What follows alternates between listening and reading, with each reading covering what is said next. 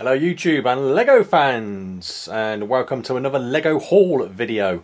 Um, this is going to be a relatively short one. I've just got two boxes and a small package there um, which I've already opened as you can see. That was just off eBay. Top one's from Amazon and the bigger one is from the LEGO store online or shop at home. Okay so let's get these packages opened and share with you what I've got. Okay guys, the first one is this one that I, like I said, I got off eBay. It's only four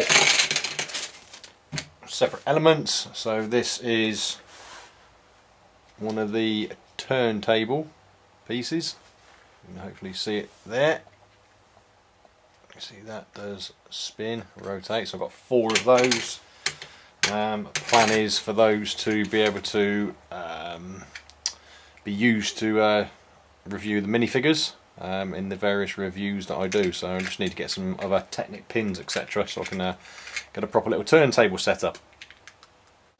Okay, next up is the one from Amazon. Let's get this opened. Okay, so in here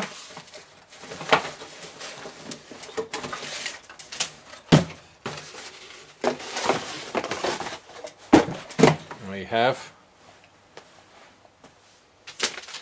Lego City 4433 so this is the dirt bike transporter. Bought this off Amazon. I paid £19.99 pence which is actually £2 over the uh, original retail price. This isn't um, or rather this has been discontinued now so it's not available anymore from the Lego store. Um, I wanted it and I was prepared to pay an extra £2 um, so yeah that's what I got from Amazon Okay, next up is the box from the Lego store online. It's opened.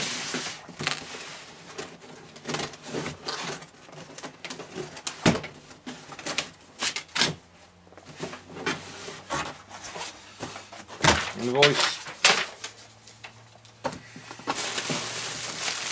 Bubbles. Okay, so oh, look at the fantastic packaging from Lego all just thrown in there. Okay. Um, so I'm just going to tip this out.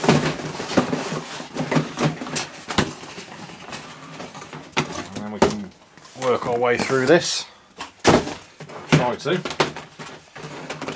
Okay, as you've probably seen, there's quite a few Chima sets here. Come back to those. So what have we got? Uh, we have set 70109 and this is obviously a Chima set. Uh, 109 is Whirling Vines. Oh yeah, this is Whirling Vines. Uh, got this off the Lego store. It was on 50% off.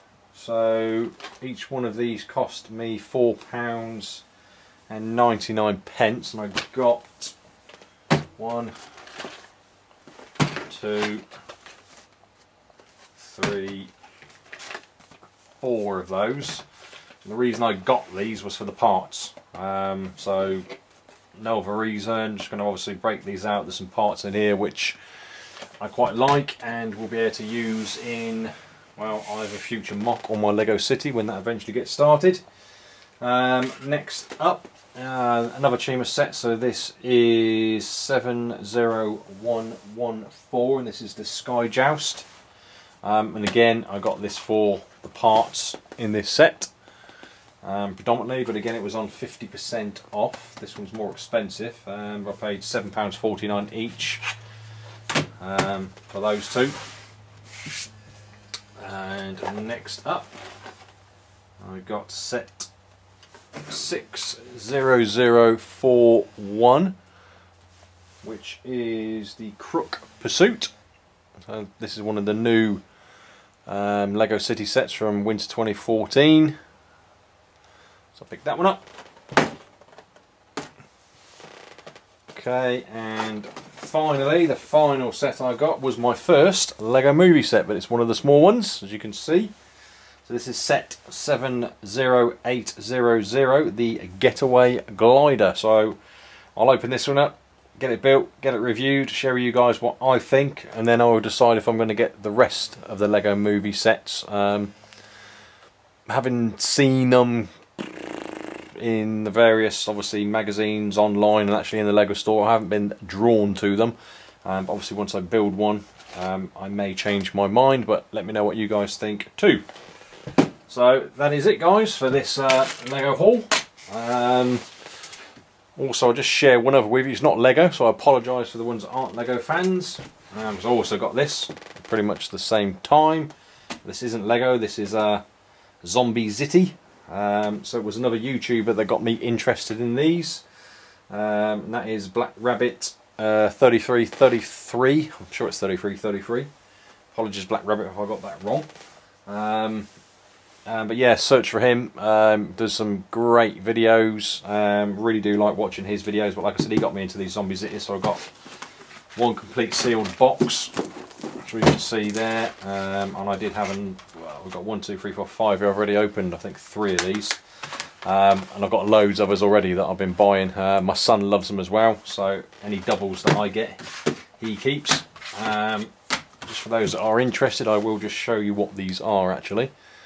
And again, apologies to the Lego fans that might not be interested in these, um, but we can see there. So I'm just going to open this one up so you can actually see what they are.